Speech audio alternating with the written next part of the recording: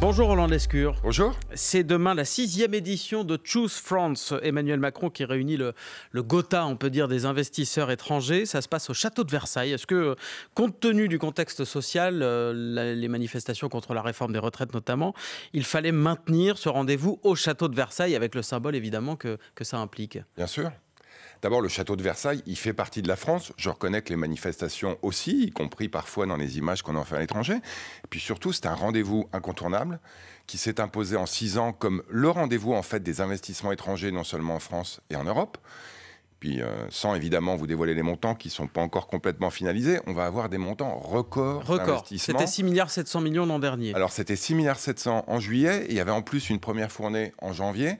Donc, au total, on était à 10 milliards l'année dernière. Et ça sera plus cette année ce sera plus, et, sans doute aussi en nombre d'investissements, parce que les gros investissements, c'est important. On a vu ça euh, vendredi à Dunkerque, où on a annoncé, où le président a annoncé un investissement record de Prologium qui va installer une méga factory de batteries électriques de troisième génération à Dunkerque. On a aussi un investissement d'Orano d'XCC qui va fabriquer des composants de batteries électriques. Donc on est en train de décarboner l'industrie on installe l'industrie de la décarbonation en France et on le fait en attirant des capitaux étrangers. Et oui, on le fait à Versailles. D'ailleurs, vous évoquez euh, ces investissements euh, qui sont tous, euh, qui ont été annoncés ces derniers jours, tous orientés vers les industries vertes. le journal du dimanche nous annonce ce matin 710 millions d'euros d'investissement à venir demain en Moselle. Est-ce que vous nous confirmez un investissement toujours dans, dans l'industrie verte? Alors, je vous confirme un investissement à Sarreguemines, en Moselle, de 700 millions. C'est pour produire des cellules photovoltaïques? On est en train de montrer qu'effectivement, si on veut décarboner l'industrie, si on veut faire par exemple de l'énergie décarbonée, il vaut mieux la produire en France, mais aussi produire les produits qui vont permettre de la produire. Donc effectivement, pendant des années, on a subventionné des panneaux photovoltaïques qui étaient faits au bout du monde. Là, on va avoir des panneaux photovoltaïques made in France, comme on aura des batteries made in France, des voitures électriques made in France. En fait, c'est l'écologie du concret. On va fabriquer les produits qu'on va consommer en France. Ça fait 25 ans qu'on les envoie au bout du monde, donc on décarbone en achetant à l'extérieur. Nous, on va produire en France, on va créer de l'emploi en France. Ça se traduit, voilà, j'allais vous poser la question en emploi, puisqu'on a beaucoup vu parler ces chiffres, on est les champions d'Europe de l'investissement étranger, mais ça ne se traduit pas forcément par de l'emploi. Si, c'est-à-dire que euh, ce qu'a montré, l'enquête Ernst Young, effectivement, jeudi, c'est qu'on a beaucoup plus d'investissements que nulle part ailleurs, y compris l'Angleterre et l'Allemagne, mais que par investissement, on crée un peu moins d'emplois. Pourquoi? Parce que les investisseurs étrangers, ils montent beaucoup de centres de recherche et d'innovation. Ils adorent nos ingénieurs, ils adorent nos chercheurs. J'ai envie de leur dire, adorez nos ingénieurs et nos chercheurs, essayez aussi les employés les ouvriers, vous allez les adorer aussi. Et là, par exemple, la Sarguemine, c'est combien d'emplois? On sait déjà ou pas? 1700. Ben, 1700. Donc, euh, beaucoup d'emplois. Et euh, tout ceci s'ajoute à plus de 3000 emplois à Dunkerque euh, lundi. On va en rajouter plus de 1000 encore avec Orano XTC. Donc c'est des milliers d'emplois.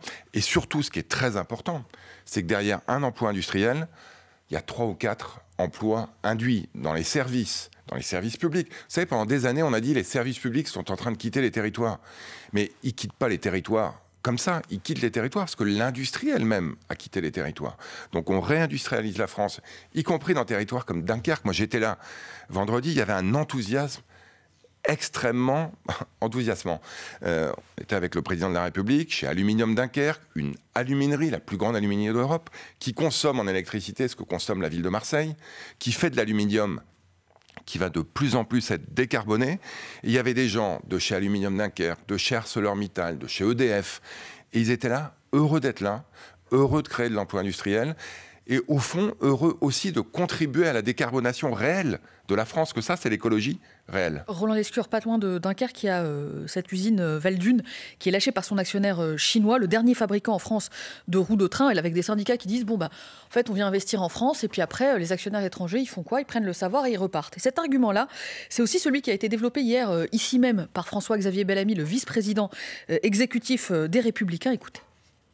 Aujourd'hui, cette réindustrialisation, elle dépend beaucoup de capitaux étrangers. C'est quand même un vrai sujet. Comment se fait-il qu'aujourd'hui, Emmanuel Macron dit nous sommes le territoire le plus attractif pour les investissements étrangers? Oui, mais qu'est-ce que ça veut dire en réalité? Ça veut dire que notre économie est progressivement rachetée par des capitaux étrangers. C'est ça la véritable signification de cet euh, indice. Est-ce que c'est ça la véritable signification? Franchement, j'en ai un peu marre de ce misérabilisme et du syndrome du verre à moitié vide. On a effectivement des investissements records en France, on crée des emplois industriels pendant toutes les majorités précédentes, y compris celle de M. Bellamy, on a détruit. On a aujourd'hui de l'investissement dans les économies décarbonées, on crée des milliers d'emplois. On a aussi des investisseurs français qui investissent en France. Carlyle, une usine qui faisait des poches à perfusion, qui était en train de fermer. Nous avons trouvé un repreneur qui est à Lyon, qui est un industriel de la pharmaceutique. Il faut arrêter d'opposer les investisseurs. Ce qui est clair, c'est que si un certain nombre arrive au pouvoir, les investisseurs étrangers, on n'en aura plus, et voire même des investisseurs français iront ailleurs. Mais il y a de la conditionnalité. Quand il y a un investissement, est-ce qu'il y a de la conditionnalité? Par exemple, euh, c'est aussi ce que disait Sophie Binet, qui était, euh, elle, vendredi sur France Info. Elle dit bah, il faut que, euh, quand on crée, par exemple, un crédit d'impôt, comme le crédit d'impôt vert qui a été annoncé par Emmanuel Macron jeudi, bah, il faut qu'en face, on demande des engagements en matière d'emploi, en matière de maintien de l'emploi en France, en matière de salaire aussi. Mais vous pensez que quand on négocie des des investissements du type de celui de Prologium vendredi. Il a 5 milliards d'investissements. 3000 emplois. On ne discute pas de l'emploi? Évidemment qu'on discute de l'emploi. Crédit d'impôt vert, vous l'avez dit, évidemment, il est conditionné, puisqu'il va être conditionné au verdissement. Donc, mais on leur dit, vous n'avez pas le droit de repartir dans les 3 ans, 4 ans, 5 ans Alors, ça c'est très important. Quand vous fermez une porte, elle se ferme dans les deux sens. Si vous dites aux investisseurs, alors je vous préviens, vous sortirez jamais de France. Quand on vient en France, c'est pour toujours. Ben, vous savez quoi? Ils ne viendront pas en France. La réalité, c'est qu'il faut convaincre des investisseurs de venir et convaincre des investisseurs de rester sur Valdune juste parce que c'est important. Euh, les salariés de Valdune aujourd'hui sont en colère, je les comprends, ils sont tristes, ils sont inquiets. Nous, le président l'a rappelé vendredi, on va tout faire pour trouver un repreneur pour ces usines de Valdune. Parce qu'au fond, fermera pas. Écoutez, en tout cas, on a une obligation de moyens. On va tout faire pour trouver un repreneur. On l'a fait sur d'autres. Je parlais de Carlyle. On va aussi tout faire pour que Valdune trouve un repreneur, malgré le départ que je regrette de l'investisseur chinois qui est là depuis 10 ans. Donc il y a 10 ans, on n'était pas là, c'est pas nous qui avons mis telle ou telle condition d'investissement. Mais oui, effectivement, l'économie, ça va, ça vient. Il y a des gens qui sortent, il y a des gens qui rentrent. Ça fait deux ans qu'on crée plus d'usines en France, qu'on enferme. C'est ça la réalité du succès de notre politique. Est-ce que vous avez compris les propos du président Emmanuel Macron quand il parle de faire une pause dans la réglementation verte européenne? Il parle de quoi? Il parle du fait que l'Europe aujourd'hui un Européen, ça émet moins de carbone qu'un Chinois, qu'un Américain, qu'un Moyen-Oriental, qu'un Indien. L'Europe, c'est la seule zone à avoir baissé ses gaz à effet de serre depuis 20 ans. Moins 20%. Les autres, c'est plus 10, plus 300, plus 400%. Donc il dit ça suffit. Non, non, on, a non, on, a fait le job. Et ensuite, l'Europe s'est dotée d'objectifs les plus ambitieux au monde. C'est ce qu'on appelle Fit for 55. Ça veut dire quoi? Décarbonation de l'économie d'ici 2050. Voilà. En fait, d'ici 2030. Donc on a baissé de 20% depuis 30 ans. On va baisser d'un autre 30% dans les 10 ans qui viennent. Et pour ça, il y a 50 mesures qui ont déjà été adoptées en Europe. Donc c'est pas de ça qu'il s'agit quand Ce qu'il dit, c'est appliquons déjà les normes qu'on a votées. Mmh. On sera les mieux disants et les mieux faisants au monde. Parce que c'est bien beau de donner des leçons. Moi, j'en ai un peu marre de ceux qui donnent des leçons, mais qui font pas grand-chose. Les Verts disent que finalement, vous ne tenez pas l'ambition Oui, puis les Verts, moi j'ai entendu la secrétaire nationale d'Europe Écologie Les Verts dire que Fukushima, c'était une victoire alors, moi, j'en ai marre des slogans, j'en ai marre des leçons. Ce que je veux dire, c'est que depuis cinq ans, on a eu à la fois de la croissance de l'emploi et une baisse des émissions de gaz à effet de serre. Ce que je peux vous dire, c'est qu'on va accélérer dans les quatre ans qui viennent, à la fois sur la réindustrialisation et sur la décarbonation. Ça veut dire quoi Que les Verts font de la mauvaise foi? Enfin, Si je comprends bien ce que vous êtes en train de dire. Ils n'ont pas compris les propos du chef de l'État? Non, moi je pense qu'effectivement, on a tendance à prendre trois mots, les sortir du contexte, essayer d'en faire des montagnes. Moi, ce que j'aimerais, c'est que sur le verdissement de l'industrie, on puisse se retrouver. Mm. Nous présentons avec Bruno Le Maire un projet de loi mardi en Conseil des ministres. Moi, j'espère qu'il va être voté très largement parce qu'au fond, l'industrie, aujourd'hui, elle n'a pas de couleur de maillot. On est tous derrière l'industrie française, surtout si c'est pour décarboner notre économie. En fait, vous savez, on réconcilie fin du mois. Et fin du monde. Et fin du monde. Merci. On réconcilie écologie et économie. Ministre délégué à l'industrie, vous restez avec nous 8h42 déjà. C'est l'heure du fil info avec Diane Ferchit.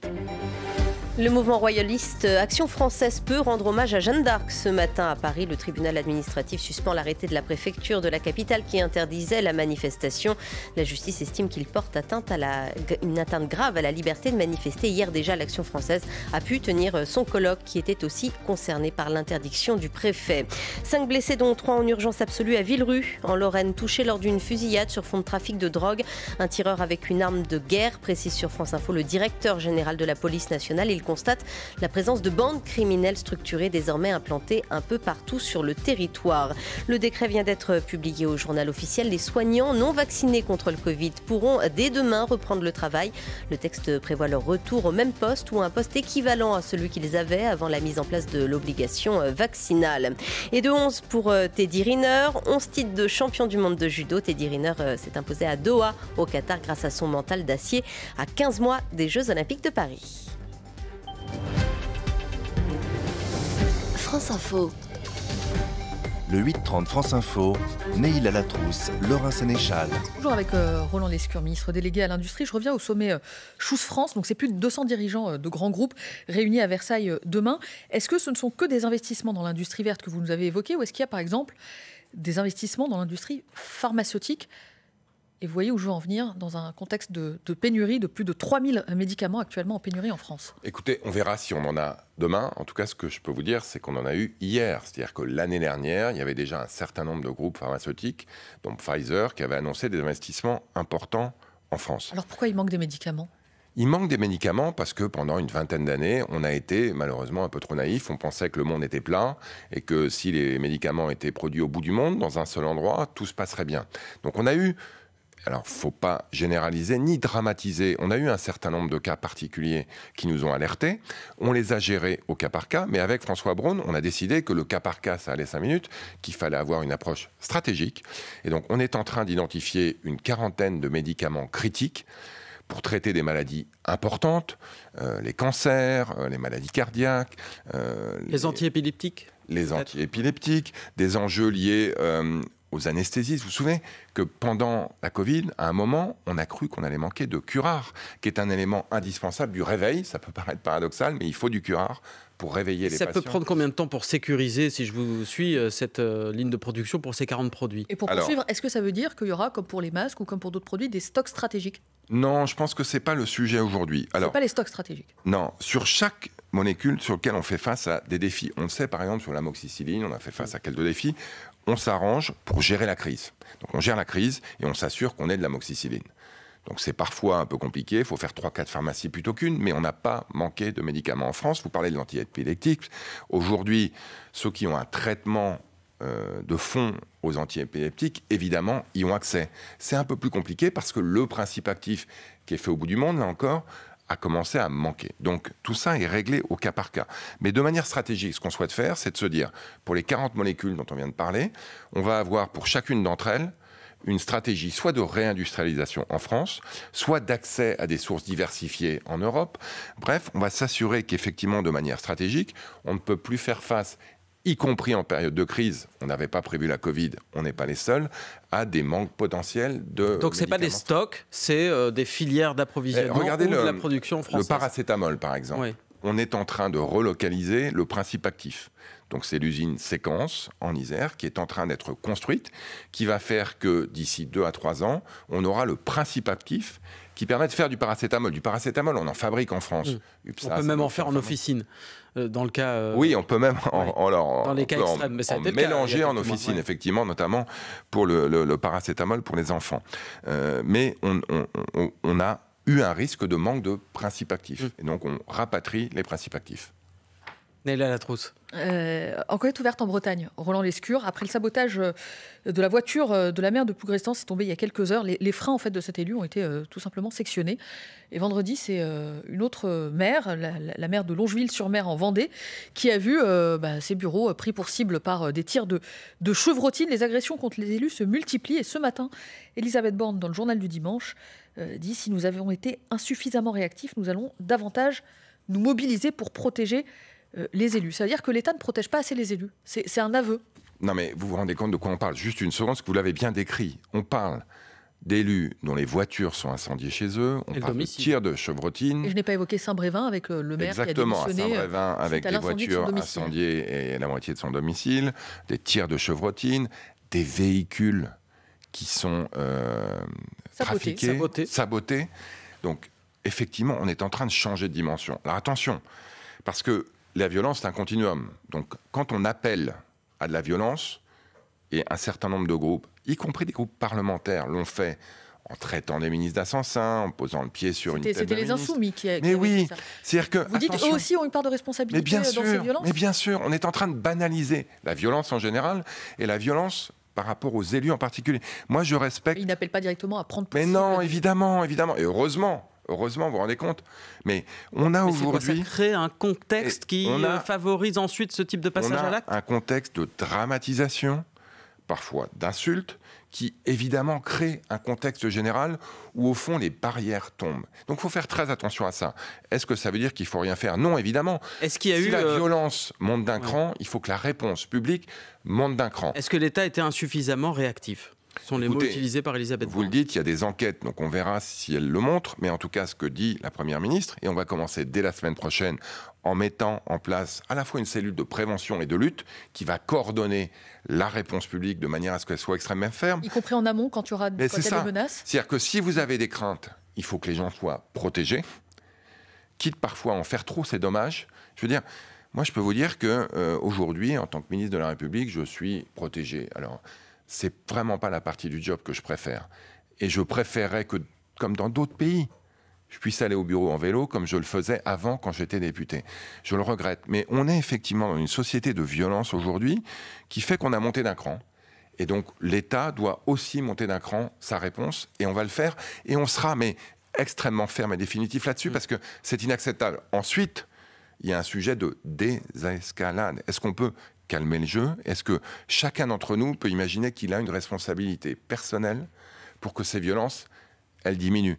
Et je pense que ça, ça doit concerner toute la classe politique. On doit se retrouver derrière ça. C'est inacceptable. Roland Lescure, mercredi, le maire de Saint-Brévin-les-Pins, le maire des missionnaires, est reçu d'ailleurs par Elisabeth Borne. Mais c'est pas le seul rendez-vous. Euh, je crois qu'à Bercy, vous recevez aussi les industriels de l'agroalimentaire pour leur demander de baisser les prix. Eux, ils disent on peut pas baisser les prix. Est-ce que ça veut dire que ça va forcément mal tourner ce rendez-vous? Qu'est-ce qu'il faut en attendre? Non, non. D'abord, euh, les industriels de l'agroalimentaire, c'est 98% de TPE, de PME qui aujourd'hui souffrent, et puis 2% en nombre qui représentent quelques grands groupes industriels. On parle de ces quelques grands groupes industriels. Il y a un pas an, tous ils les sont venus nous industriels voir. dans le même panier. Il y a un an, ils sont venus nous voir, ils nous ont dit les prix montent, l'énergie, le blé, etc. Laissez-nous renégocier avec les distributeurs. On a dit banco. Un an plus tard, les prix baissent, énergie, blé, etc. Il faut aussi qu'ils renégocient avec les distributeurs.